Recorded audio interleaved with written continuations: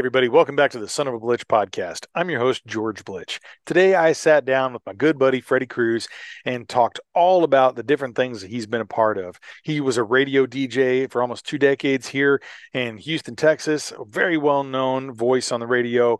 Uh, he's then been an author, written three really cool books, and right now he's uh, currently running Speke Podcast so, Speke Podcasting is S P E K E, and it's where you want to go if you're ready to launch your own podcast. He's going to walk you through all of the ins and outs of podcasting, how to market yourself, get your brand going. Um, really kind of hone in on the analytics of what you need to do to be able to be the most successful in your avenue of interest. And, you know, he has been doing so many things over his lifetime that I really feel like he's probably the quintessential person to be able to talk to about taking your business to the other other level. So even if it's a consulting thing, he's a guy to talk to about whatever it is you want to do. Um, you know, going ahead and, and booking all these amazing uh, clients that he's done over the years. I mean, it, he's done everything. He's done everything, and he is just such a wealth of knowledge and he's a gentleman who shares that and is very open about his experience because it's not always pretty being an entrepreneur and he talks about that and really kind of walks you through um, what it was like for him and what he wants to do and continue to pursue. Uh, we just had a great, great conversation. Uh, again, I highly encourage you guys to go down below, check out you know the socials, his website, follow him, follow his journey. He's always got something interesting to say, and he has really amazing guests. Um, I'm not plugging myself here. There are really great guests that he's got on there that you know you're going to learn something, and you know especially here around the Houston area, if you want to tap into uh, what's going on and get your pulse on what's going on in our city, if you're listening from and around the Houston area, Freddy's your man. So, guys, go check it out. This is a wonderful podcast. That's so much fun. Uh, make sure you follow all of socials. Uh, Freddy, as I mentioned before, they're all down below here in the description. And without further ado, here is my podcast with Freddy Cruz.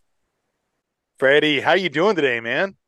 Fantastic, because I get to hang out with my man George Blitch. That's how I was feeling when I woke up this morning. I was like, "It's a Freddy day. It's gonna be a damn good day." For a split second, I thought you were going to say, That's how I felt. I get to hang out with George Blitch, the son of a Blitch, all day. Wait a minute, that's me. That's scary, man. I don't know. I don't, I, you know, a whole day with that. It's it, this head, what's going on in here. I don't know. I don't know if I want to wish that upon other people. It's it's a busy mess. Isn't it, though? It's like it's, we get so trapped in our thoughts, and you're like, Hmm, if people only knew what was going on between my ears, I'd yeah. be fired, I'd be canceled, I'd be lambasted, I'd be quickly forgotten. I'd be so forgotten in less than five minutes after my inner thoughts are publicized. It's not even funny. I mean, it's funny, but yeah. oh man, it, it's so true. There's so many things going on. I mean, you know that I have a few different projects always in the works, and I feel like uh, when we met each other, there's this kindred spirits of just like trying to project goodness into the world, but also busyness. Like you were involved in so many different things, and you've had quite you know different various careers and things as well. Let's just like kind of start people off. Like, what is what does your normal day to day look like of what you're working on, your projects, and you know what you got balancing with your you know Speke podcasting with Freddy Cruz through HTX, you know, all the things that you're involved with. Let's just like lay it out for folks. Like, what does a day in Freddy's life look like?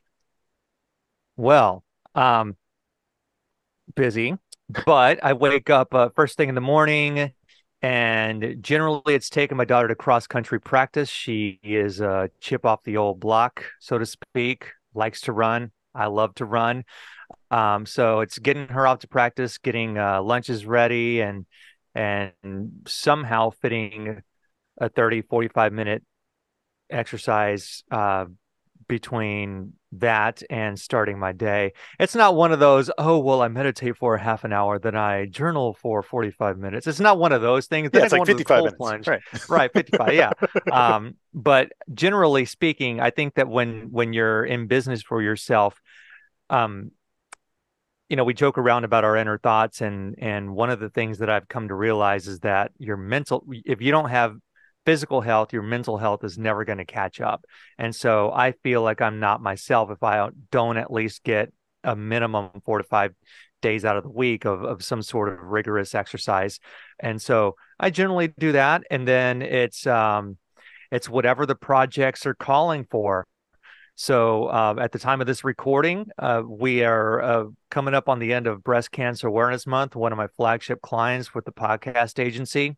Uh, we wrapped up 31 straight days of podcasts, which was insane, but also amazing mm-hmm. for anybody listening who has a podcast and maybe wants to know how to grow your show and your audience it's the reps. It's uh, what Alex Hormozi says: quality and quality.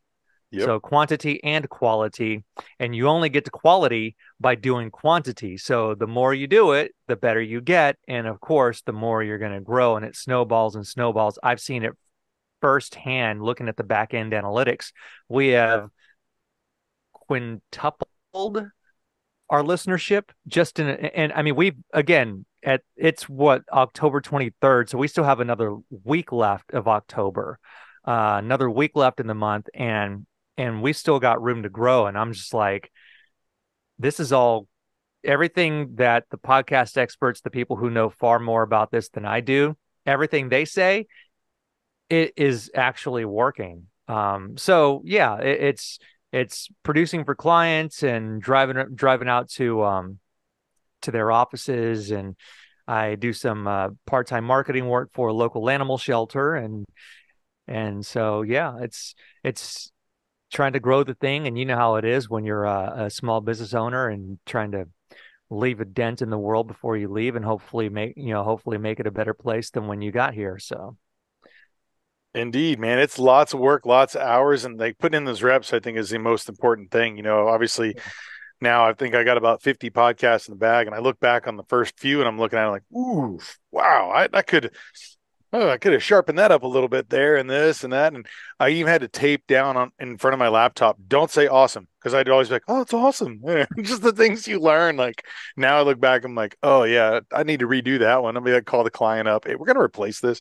But you know, it, you get better with any, anything you do, whether it's, you know, it's kind of like, uh, I think about the Malcolm Gladwell, uh, book, you know, it's like about, you know, the 10,000 hours, you know, the things that you put into it and like what eventually if you will master a craft, if you put the time into it, it's just a, a matter of those reps. So, you know, I, I, I think that's a, a, very important thing to cue in on. And I, I kind of wanted to also chat a little bit about the idea of like, this is kind of something in the more recent years for you because before you were an on-air radio personality uh, here in Houston, a mainstay, uh, one of the best that, that I knew. And, you know, then you decided to move into kind of doing your own thing. So walk me through maybe a little bit of the history of what you did and what you, you know, kind of for our listeners in Houston. And then talk about that transition of deciding you're going to go out there and uh, you know what ultimately ended up to you hiring yourself and maybe talk about some of the you know challenges and, and some of the uh, you know joys of, of going through that process Ryan Holiday says ego is the enemy. And my ego was really, I never really saw myself as having one. Uh, but apparently, the universe, our creator, thought that maybe I needed to be humbled a little bit. And so, um, with that came in this fall of 2021 uh, a time to renegotiate my quote unquote deal with my previous employer. And uh, to keep a, the long, long story short, I denied it and let them go and served out the remainder of my contract um, because I am a professional. And so I had um, I had told my wife, and this was a long time. The writing was already on the wall. Listen, I will tell anybody out there who works for it doesn't even have to be a major corporation. It could be a, a working for a family-owned business. That if you see the writing on the wall, it is your responsibility to trust your gut, to rely on your instinct, and start making plans. And I told my boss's boss at that time, I'm surprised y'all didn't fire me during COVID because in 2019 when they renegotiated my contract it was made very clear to me that i was making too much money and so 2021 came and i'm like yeah you guys you guys are right um excuse me so yeah um fast forward to fall of 2021 And I tell my wife, I was right. I was right. Nobody wanted to believe me. And, but that's okay because can I curse? Yeah. I'm Freddy fucking Cruz and I'm going to find a job. This is Yeah. going to be a, a cakewalk. It's going to be a, it's going to be so damn easy. It's going to be a cakewalk. Well, um, November passes, no job. December passes, no job. Okay, honey. Mid February by the latest. Mid February comes, no job. March comes, no job.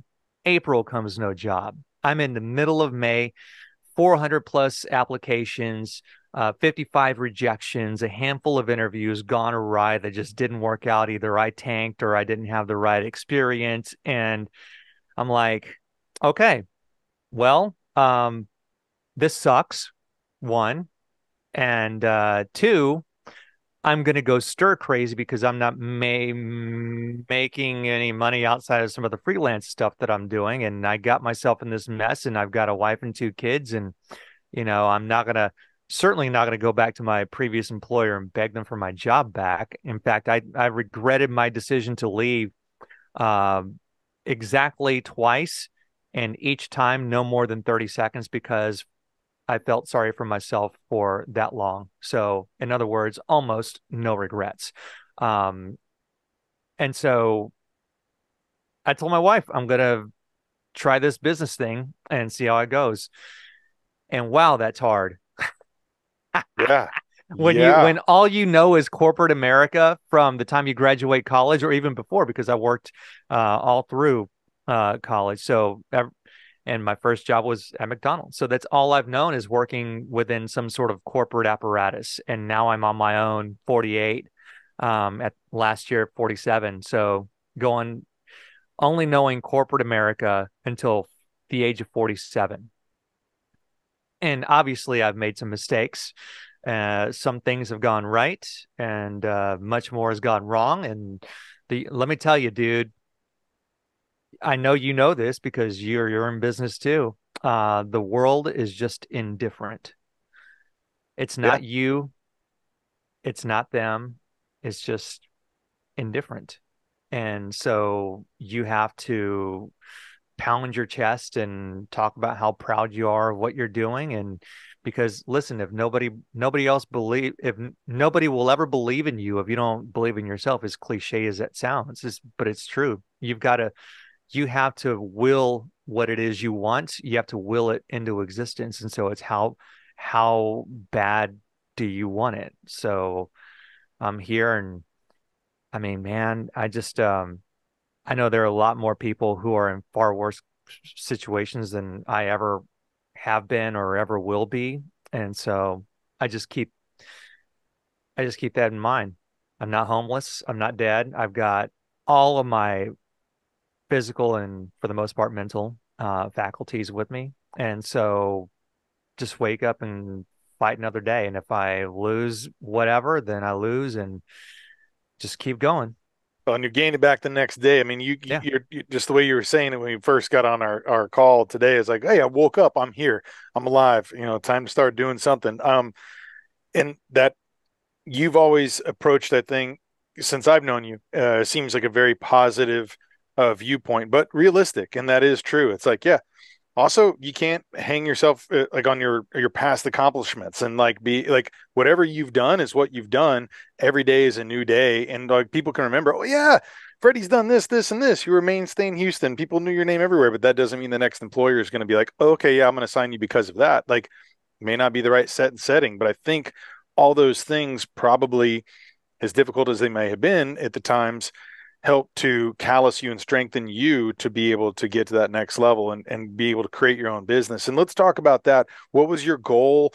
What were you trying to do? Because obviously you've got, you know, Speke podcasting. Was that the thing that you kind of had this vehicle or did you have another vehicle and that just ended up being something that you grabbed along the way? Uh, let's kind of talk about what your vision was when you decided, all right, I'm going to do this on my own. What was this? And, and kind of maybe talk about what that's kind of evolved into today.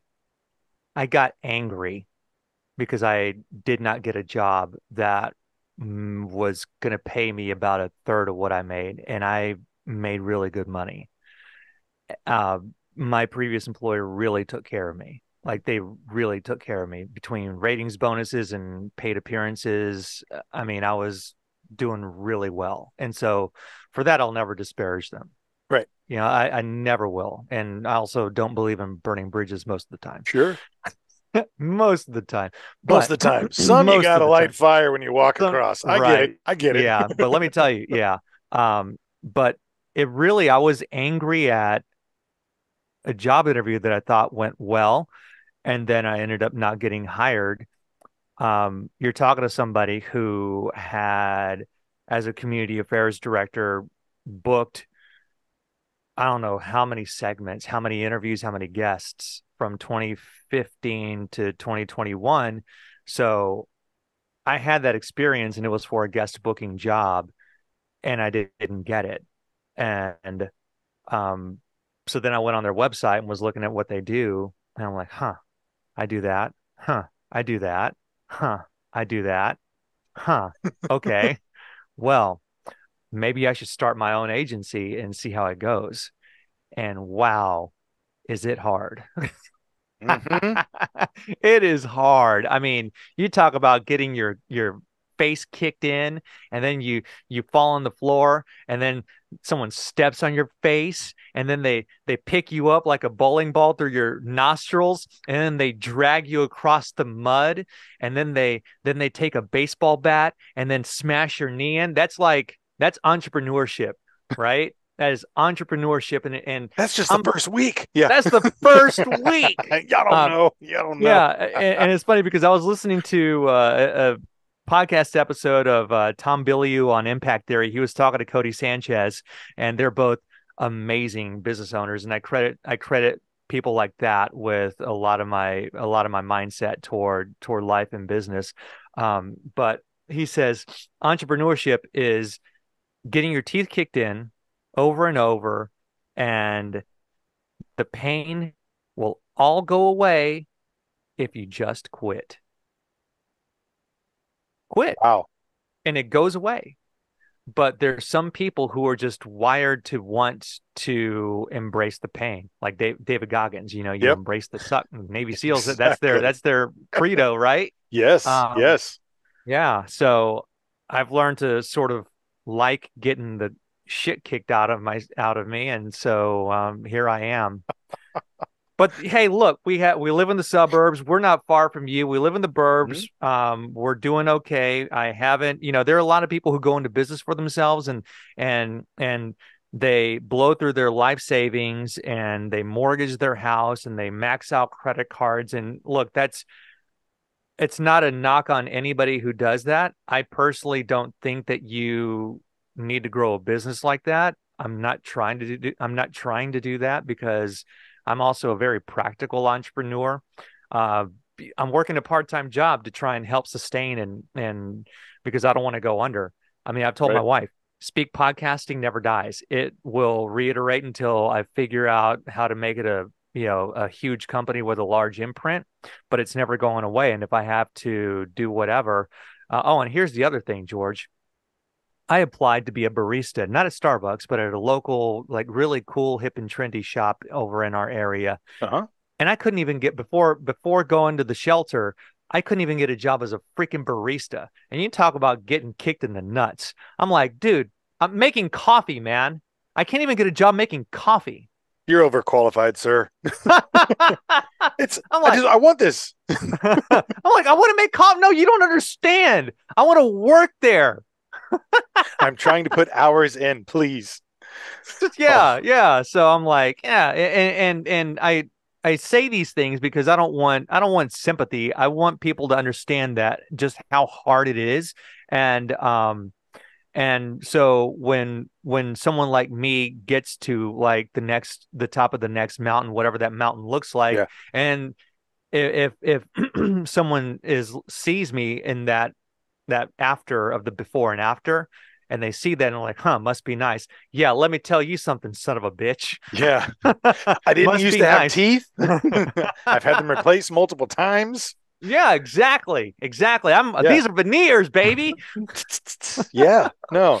Well, I mean, it's I think that when you see a lot of people don't see the ladder to success. They see people at the top and they think, Mhm. oh, they must have known someone done this. It's like there's all these you, you don't ever Mhm. really notice all the hours of hard work because a lot of times people aren't showing that off. Like, you know, nowadays with you know social media and stuff, you can kind of see someone just as they rise up and what the work they're doing. So there is some way to kind of track it. But a lot of times you just see someone you're like, oh wow, they're this. Well, man, you know, you look at someone like Chris Pratt and all the different work and the Mhm. things they put in, and, and then you know, sometimes it is the lucky networking. Sometimes it is the right place in the right time.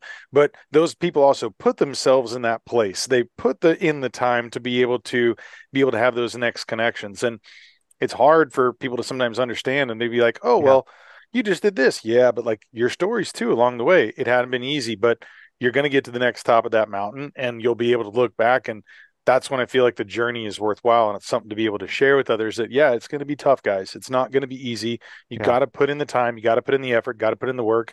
And if you do all those things, ultimately, I think there's it's only a matter of being able to have some success in whatever form it is, at least being able to say, I went through that process and I tried my best.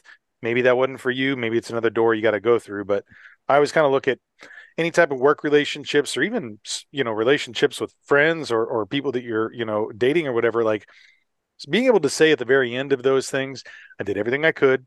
I tried to make it work. I tried to do these things. I tried to be successful. At the end Mhm. of the day if you decide to go a different direction you can at least walk out with no regrets or maybe those two little 30 second regrets that you talked about like you know? Yeah. Yeah i mean you just have to get used to to losing. I think that we we are so and i don't know if this is a thing of the west or maybe it's just a human thing where we we um we don't we don't like losing. We don't like setbacks. I mean i mean i'll who who really does like losing i mean you have to be okay with losing more often than you have to be okay with with you have to be okay with losing more often than winning is my Yeah. point. and and it doesn't mean that i just celebrate and enjoy it i'm just saying that if anything worth having is not going to come easy because if it if it came easy you would be like um like i don't know i don't really watch football that much anymore but it'd be like i guess uh the new england patriots playing a third grade pee wee league football team where's the fun in that because you know they kick the dog snot out of those kids every single week There's like no they were little entrepreneurs yeah Yeah. Yeah, man. I mean, it's uh yeah, it's just it, Yeah. it's not fun. It's like uh when you're playing video games, um when you're playing video games and, and you just beat level 1 of Super Mario Brothers over and over and over and over and over and then at some point it gets really boring and and you're like, "Okay, why don't we get to the next boss level? Let's get to the next boss level. We can do this." It was like I never really understood that playing with uh, my friends, where if uh, if they would get angry about what was happening in the game, and then they just switch the game off. Yep. Like, dude, what the hell's wrong with you? I was about to score a Yeah, I was about to score a Tag touchdown. ball baby yeah Yeah, yeah. It's um, just have to suck it up, Buttercup. That's right, man. That's right. I want to circle back into Yeah. Speke podcasting and like what Yeah. it is that you're offering folks because I know, you Oh. know, we had a, a, a little bit of a communication with with one Yeah. of my friends who was looking to start a podcast Yeah. and you know, I don't know where were you when I was trying to start. I could have used your wisdom, my friend. but you have such a an elaborate background of of being able to book guests, be Uh-huh. comfortable talking with them. I mean, you know, I'll I'll throw this in real quick and we can chat about it later. But you know, you and I met while you were interviewing Jack Carr uh, Yeah. from the Terminal List series author, um, author of six amazing books. Seventh is on the way, and you know, walked into Murder by the Book, and uh, you know, first thing I looked down, and we'll have to get to this. I was like, oh, there's Freddy Cruz book, okay, and there's a Jack Carr book. So we got to talk about your books as well. But I look in and I'm like, man, this guy is awesome. And then I realized later on, oh yeah, radio personality in Houston. I know your voice, I know your name. Didn't connect him that first day. But you and I got to chatting and kind of communicating a little bit and you know, has forged forged a friendship here. But you've done all sorts of different things and like I feel like when people come to you, there are multiple avenues of experience that you can talk about but I really want to kind of, you know, give you a minute to talk about what it is that you offer uh, clients and what it is that, you know, you walk them through and how you can help build their business. Yeah, my goal is for there to be thousands and thousands of people who I've helped launch podcasts because this is the future. Everybody should have every let me back up. Mm-hmm. Everybody should be a podcaster because if I if I were to say everybody should have a podcast, that means, you know, George and Freddy can go and start an episode, not get Joe Rogan numbers, and then quit ap- after episode two. So I want everybody to be a podcaster. Anybody who is listening who is interested in some strange quirk, that's a podcast right there. That is at least six months worth of material, which, by the way, puts you in the top 1% of creators. Okay. So, my goal is to is to rally up as many people who are tired of waiting to get discovered by the gatekeepers in the big media uh, companies. Uh, they're tired of waiting on gatekeepers. They're tired of trying to figure out the the algorithms this is what this is what podcasting can do where you take true ownership over the story of your brand or your personal brand your your company or what have you. It could be big it could be small it could be just a local run uh, sort of pop-up shop thing like what your daughter ellie has. That's a podcast right there. Ellie with her mom and dad going to different places. And so um, what i do is really really it's it's multiple layers. So it's consulting and helping people guide uh, helping guide people through um, what their what their title should be and then the, how long their episode should be how frequently they should be doing their episodes and really mapping out what uh, what what their first 20 30 or whatever episodes are going to look like having a plan uh, because you can have an awesome idea for a show about hunting feral hogs. That's uh-huh. a nod to our previous interview. You can have an amazing show about hunting feral hogs and cooking them, right? But if you don't have a plan for, well, week one is going to be why hunt feral hogs. Week two is going to be how to cook a feral hog. Week three is going to be uh, the easiest recipe. Week four, we're going to bring a chef. So you have to have a plan for execution. Then you go and you execute, and you execute without any regard for back end analytics. Because with podcasters, if I had to guess, with podcasters, we it, we treat we treat these precious download numbers the way somebody would treat an Instagram like. Mm-hmm. They're to a certain extent vanity metrics. Yes, downloads matter just as much as likes matter. It, it's um, it's sort of a um, letting you know that you're doing something right, that you're going in the right direction. Yeah. But let's be honest, downloads can me- mean anything from Freddy hit play for a minimum one second all the way to George hit play and listened to the entire episode. So there's a wide range of what one single download means. Right. You go into the Apple backend analytics and you've got um, 40% uh, an engaged listen is when someone listens for a minimum 40% of an episode so it's really coaching people to do an episode uh, record record a show that's going to be long enough to cover what they want to cover, but not too long to where it's just three hours of holy shit, is this thing ever going to end? I've been I I have recorded some three plus hours one. Now it was great content for those who stayed with, but yeah, yeah, you're right. It's most most listeners don't have that kind of time. No, no, you know what, and they don't. And and really, uh, one of my favorite one of my favorite shows is uh, the Andrew Huberman, the Huberman Lab with Andrew Huberman, Huberman the uh, neuroscientist, and mm-hmm. this guy goes off most on most cases uh, by himself for a really long time, and it's like I want to learn about the brain, but man, I don't know if I could sit through two hours. Are your classes even that damn long? Probably not. Cut it down, sir. Cut it down. But I mean, hey, look, he ranks really high in the Apple charts, so he obviously knows oh, something oh, it, that I don't. And Joe and Rogan, right? I mean, Joe Rogan. we look at we look at folks like that. It's regularly two, three hours. You know, I've seen some longer. It's and, oh, and but man. it's yeah, amazing. That Post Malone interview was four. Dude, I saw that. I I have not finished the whole thing. I'm probably halfway through, but I remember just looking that up. I was like, is that a typo? Like it has to be. But then I think about this like two guys having fun, having good conversations. Can't Why tell not? you how many times that I've I've talked with people for so long and you're like, "Oh my gosh, it's this hour or yeah. my phone has died or whatever it may yeah. be." You know, good conversations. Yeah. And those two and a lot of the guests he has on. There's just so much breadth of knowledge and experience that, yeah, you could feel that. I mean, if podcasting was a thing and Joe Rogan was alive back in the time of Christ, that episode would be like 10 hours. Let's be honest. It'd be 10 hours and Jesus would probably be a repeat guest the way mm. one of his the way his UFC fighters are. Let's be real. Marcus Aurelius too. I mean, you know. And then and go. then people would lambaste him for wanting to talk to, I don't know, uh Herod, King Herod. I'm interviewing everyone. Everyone, come on, come yeah, on. I'm interviewing everybody. Hey, look, I'm I'm gonna talk. I'm gonna talk to the king of the Mongols over here. I mean, next week we're gonna. It's a diversity of uh of uh, guests of guests. Yeah, no, but uh, yeah, I just uh, I'm obsessed with podcasting and really helping uh helping people who would not otherwise have a broadcast career like the one I had or the one that current insert the name of your favorite radio personality yeah. has.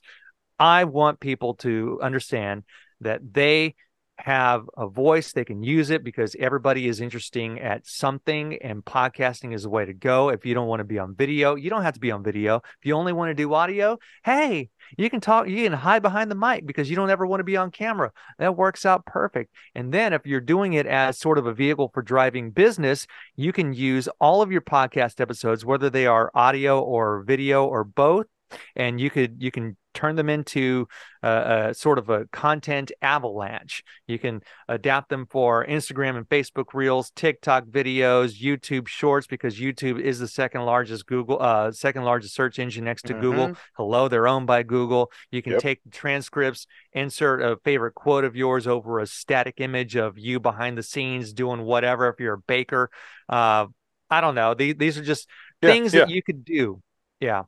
No, it's it. There's multiple platforms. I mean, it's something that's it, it can springboard to whatever it is you want. And mm-hmm. you know, I, I mean, I, I, I know that even after you know we had our interview, you send me over some stuff. It's like some really cool video content, text overlay, and things too that are these little snippets where you can throw that in. Hey, there's your reel.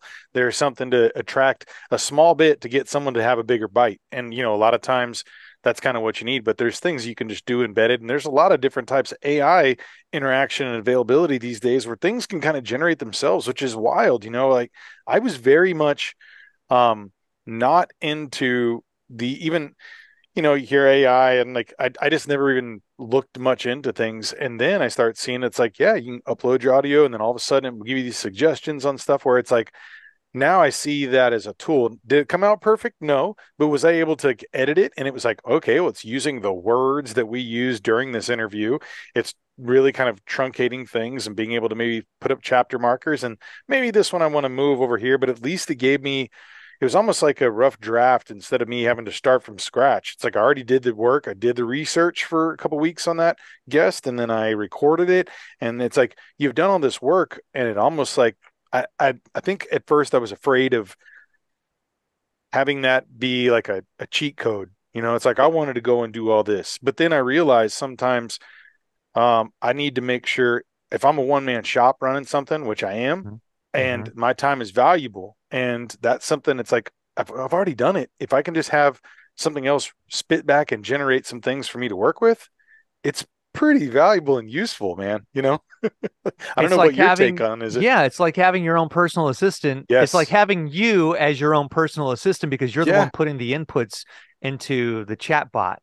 Um, so with Chat GPT, uh, you don't just say, "Hey, I'm interviewing George Blitch. Can you write up some questions for someone who's an outdoorsman who likes to hunt?"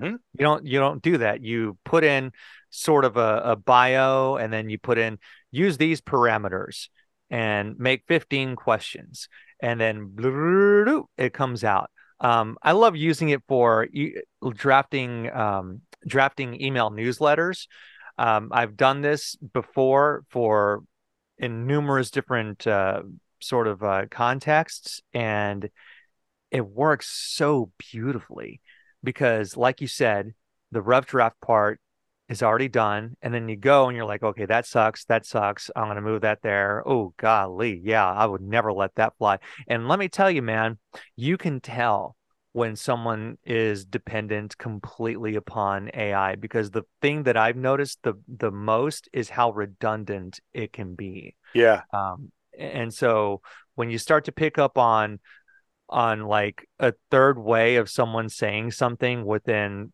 five sentences, you're like, yeah, that person didn't even go and prune it. Right. Um, and, and hey, to each their own. Uh, these people are obviously um, way more successful than I am, so it works, I guess. but I guess that's too like what you, like the idea of like the merit of your success. If you're constantly advancing and learning and mm-hmm. sharpening mm-hmm. your craft, you know, you're getting better at that, and you're you know the the way that like I look at like interviews and my ability now to like be able to sit down and talk with someone before I used to spend a week writing down these 23 questions or whatever it would be and now mm-hmm. it's like I realize I can just pivot and just have these real conversations that I would normally have with someone sitting across from mm-hmm. and I feel more comfortable being able to do that. I don't have anything in front of me to ask you any questions today. And a year ago that would not have been the case. Now I, oh, I know yeah. enough about you, and there's things I want to ask you, and you know, and I feel like we've already had a great start with that. But like, I don't, I, I'm getting better at it. I still am not as sharp as some of these other people. I look at you know the Rogans of the world or other folks who are, you know, going on and you know the Tim Ferrisses and things. It's like, wow, these guys. But you put in the work and stuff. You don't necessarily have to go through the notes, and you can just kind of walk your way through it, and it becomes very authentic. You know, but you're teaching people that are coming to you how to do these things, how to use these tools, maybe with AI, how they can be able to help build their brand successfully. You've had that experience. And so I, I feel like it's the most authentic person that I could think of whenever anybody asks me, I'm going to send them your way. And like, thank you, man. He knows. Oh, of course, man. Of course. And yeah, go ahead. No, you go ahead. I was going to ask you, you know, pivoting now to your other, you know, kind of creations. Let's talk about that book that I saw, or the books rather, when I'm walking into Murder by the Book. And you have written how many books now? Is it three? And I'm done for. Uh, I'm done for now. Okay, so talk to me about those. Is that something you always wanted to do? How did you know the first one come about, and then you know how those other two roll into, and like mm-hmm have you always been a writer? Is this something that you're like, I'm going to challenge myself? And, you know, what did that look like as far as the beginnings of your path as an author? Yeah. I have always been a writer, but in the copywriting sense of the word writer. Mm-hmm. Um, a lot of what I did in my previous radio career was writing promo copy. So anything from a five second little one liner thing to 30 seconds to upwards of you know show notes basically the the equivalent of podcast show notes or mm-hmm. show prep or whatnot so i've always written and very effectively too um, the marconi awards you know i probably played a couple of uh, uh, small roles in us winning those but um you know in 2018 we were at Barnes and Noble one night. It was a wacky Saturday night. Me and my wife and my two daughters at Barnes and Noble, burning the house down. It Ooh. was crazy. And so uh, we were walking through the book section, and then one of my daughters was like, "Dad, you should write a book." I'm like, "Really? What do you think it should be about?" I don't know, but you should write a book. And I'm like, "Hmm." Well, I've always thought it'd be kind of cool to to have a book, and I think people sort of gravitate toward that. Hey, yeah, it'd be cool to have a book, and then they just never do it because sure. it's um, it's, it's funny you mentioned Tim Ferriss. Yeah, it's a lot of work. You mentioned Tim Ferriss, and I think he I forget who he was talking about, but it was essentially everybody wants to have a book, but not everybody wants to write a book, and it's sort of the same the same sort of uh, notion or the same sort of mentality toward having a podcast. Everybody wants to have a podcast, but nobody wants to be a podcaster because being a podcaster means George and Freddy are putting in the work of research, we're editing and posts we're you know scheduling we're making we're managing schedules and and so yeah that's that's a tall order for somebody who doesn't do these and that maybe that's why there's a that's why there's so many zombie podcasts out there but so my uh back to the books my kids had dared me to write a book challenged me so to speak and and uh so the novelty of the challenge for dad wore off and I was left with, okay, I'm not going to just say that I'll write a book and then not, and, and then not write that check that I, you don't write a check your ass can't cash, especially right. when it comes to your kids. And so I'm not going to let them down, but what do I write about? Well, they're obviously not paying attention because nothing dad does is cool anymore. Uh, so I Don't know. say. So, Don't sorry say. to let you guys down, man. If you got young kids, you will eventually not be cool. Um, but so I'm like, all right, well, I need to make sure this is fun. And so in 2018, um, as you and and the audience may know, uh, that was when a certain person was holding one of the higher offices in the world, and things were really nasty, uh, just all over the place. And so I thought, hmm, how can I not keep from engaging with people on the internet? Oh, I'll write a book about repealing the First Amendment to the United States and show everyone what a real tyrant looks like.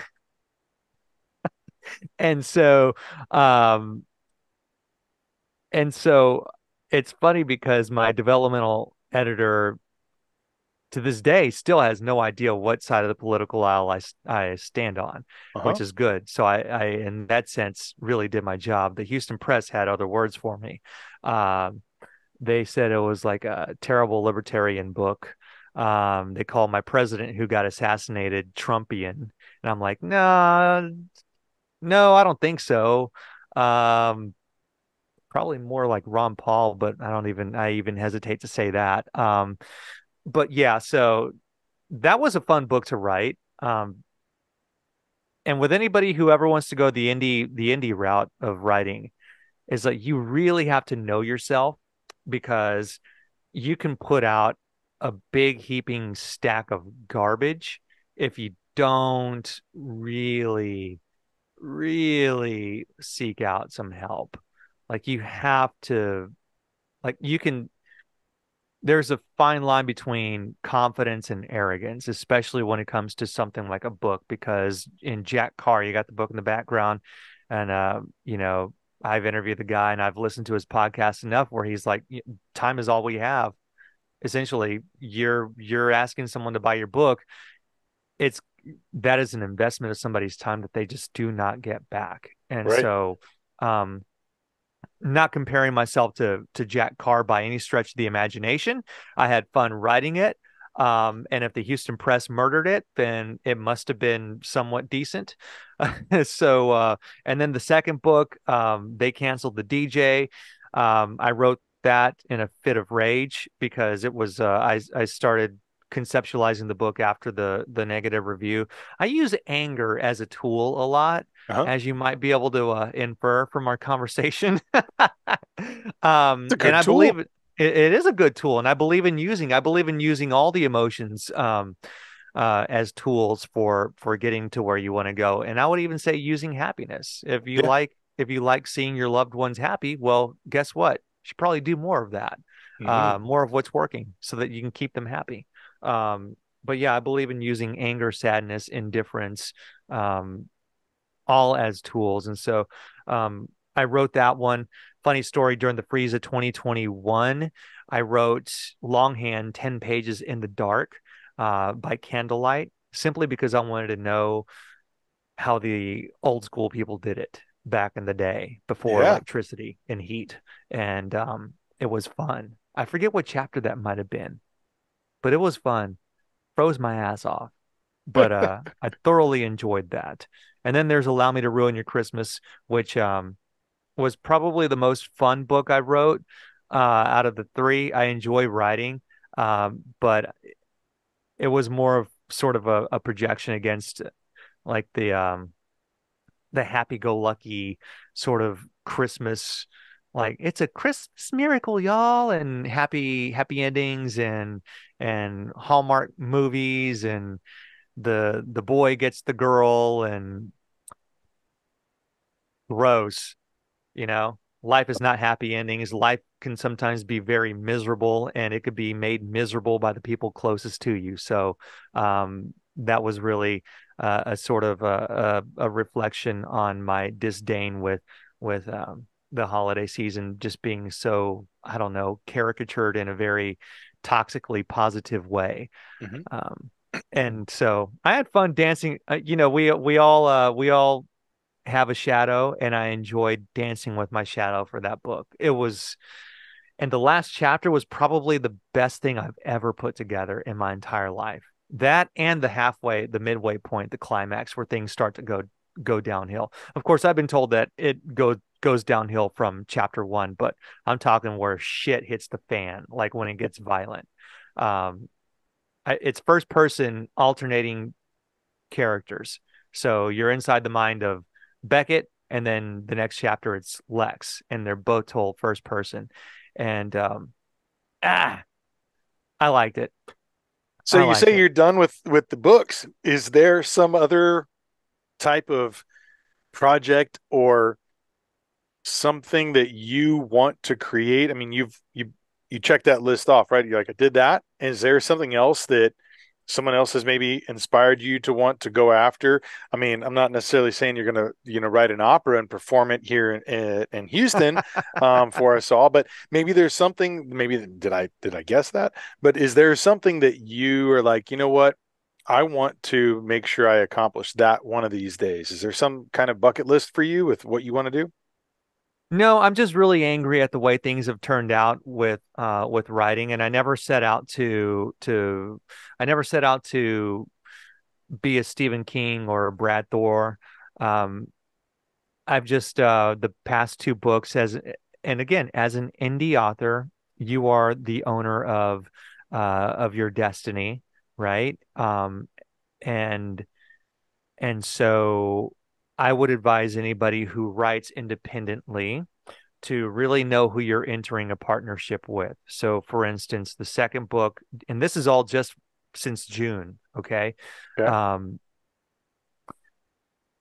the publisher for the second book went under and I haven't got paid my royalties. And I only knew they went under because I was reached out to by a fellow writer who hasn't even gotten her book. So she Ooh. paid a bunch of money down. She paid in full before the book turned out, and she still doesn't have a book. And apparently, I'm one of the lucky ones because at least I got a book. At wow. least I got something. Now I haven't gotten paid any royalties, but at least I have a book. There are people who paid thousands of dollars and don't have a book, George. That is a travesty.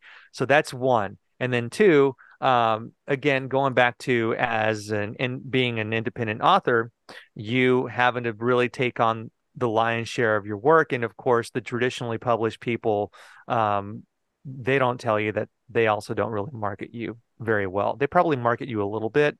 Um, if you're a big name, they market the crap out of you. Right. But if you and I were to get a traditionally published deal, we'd we'd essentially be on our own. That's why people say that it's always best to go indie. And I'm telling you, yes, that is true to a certain extent, as long as you are okay with knowing that you could get dropped even by your indie publisher, which is what happened to me with allow me to ruin your Christmas. So effective November 15th, I'm not sure when this episode goes out, but effective November 15th, they will no longer carry my book. So wow. that's all happened in less than six months. And so I'm done writing for now. And uh, I eventually do want to have a, a, library of books that I've written. Um, it's just that right now I'm I'm very um, right now the author world is I shouldn't say the author world, the publishing world is dead to me. Yeah. Uh, I just um I need to I need to figure out how I'm going to play in that sandbox because I do want to play I want to go back and play in that sandbox. It's like um you know, there are a bunch of scorpions in there. Yep. And I'm not going to go in the sandbox, so there are a bunch of scorpions.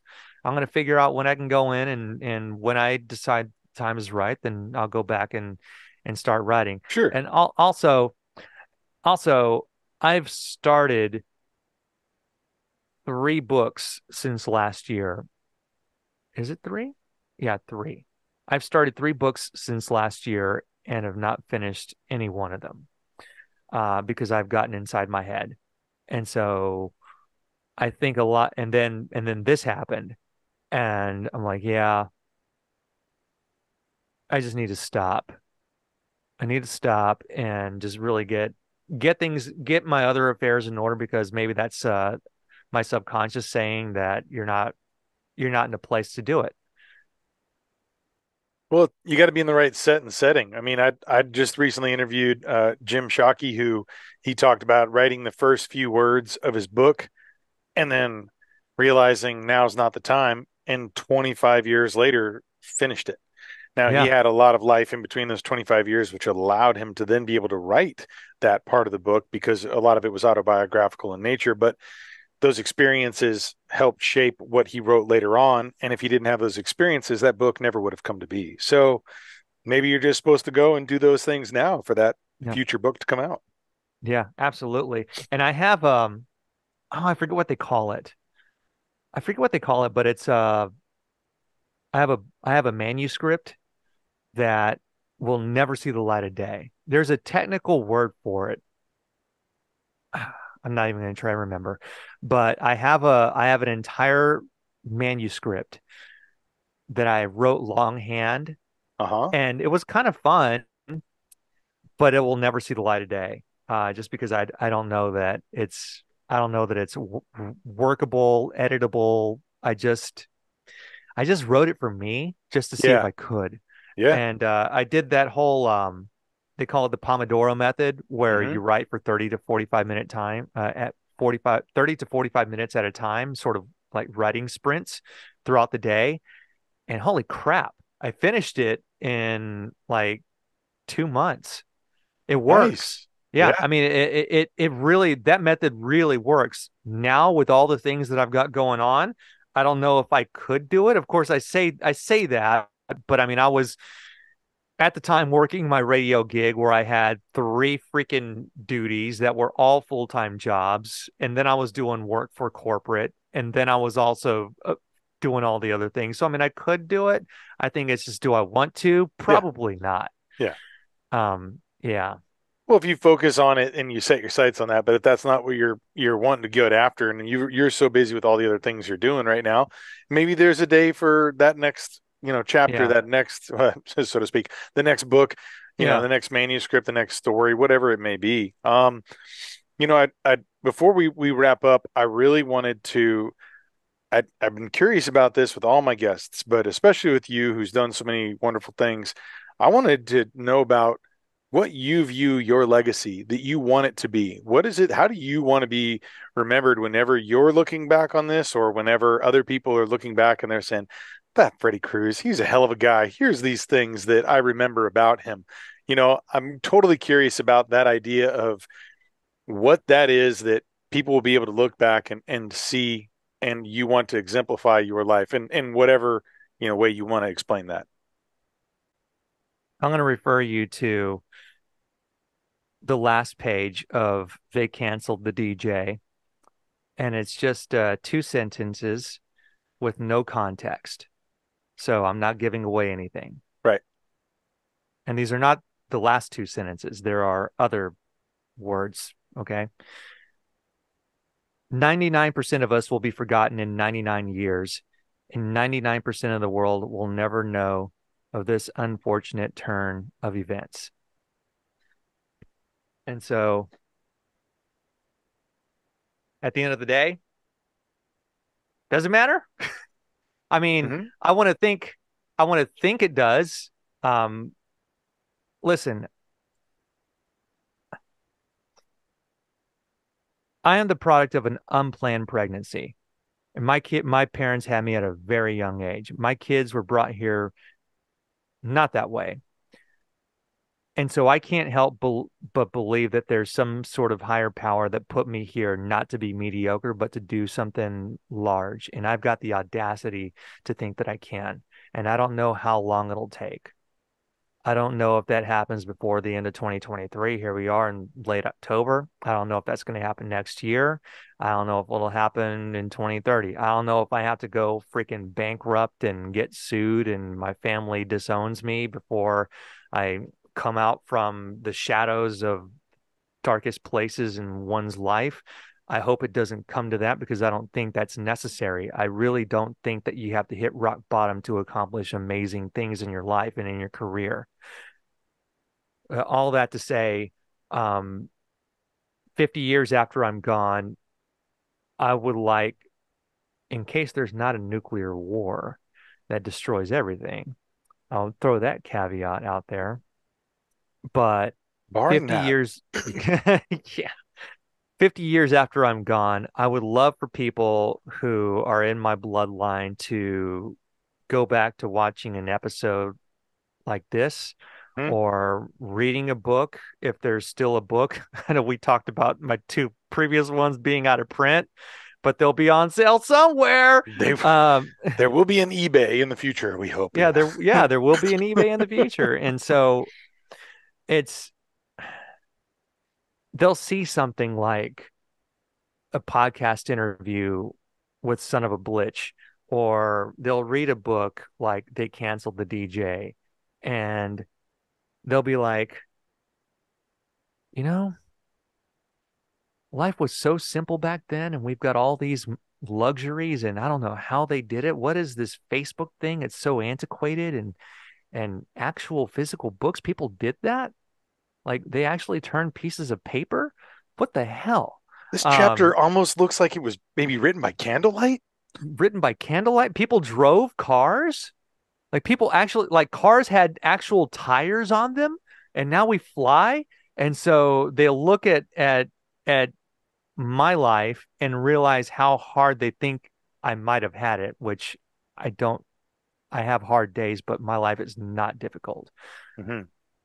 But they'll look at my life and they'll look at the things that I did and they'll realize how I got there.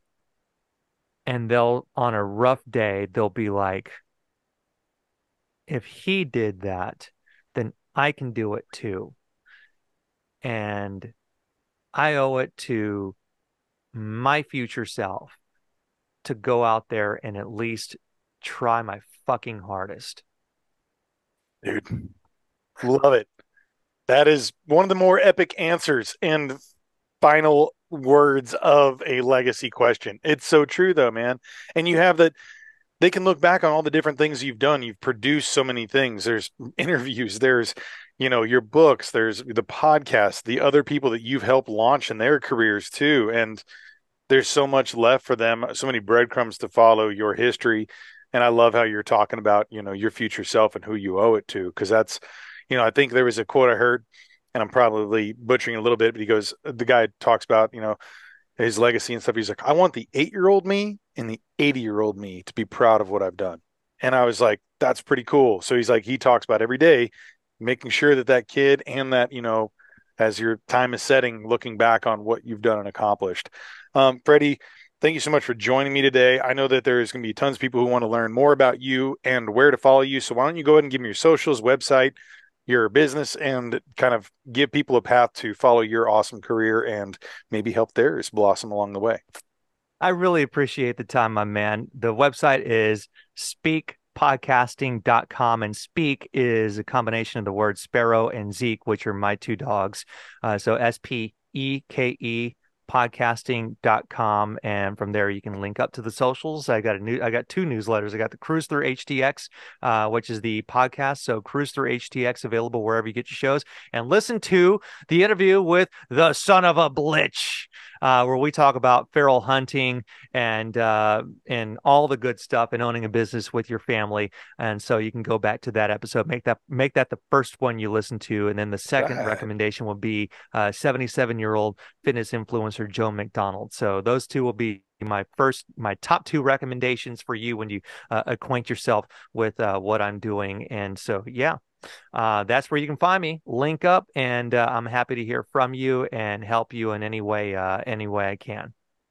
Once again, thank you for for joining the podcast. Thank you for your friendship, man. I I I just love hanging out with you, connecting with you. You give me some fuel to my fire as well, and uh, looking forward to many more collaborations in the future, man. Who knows what we're going to be doing together? But I know there's going to be something fun down the road. So thanks again, and everyone, uh, make sure you go check out all the wonderful things Freddy's doing. Thank you, sir. We will talk soon.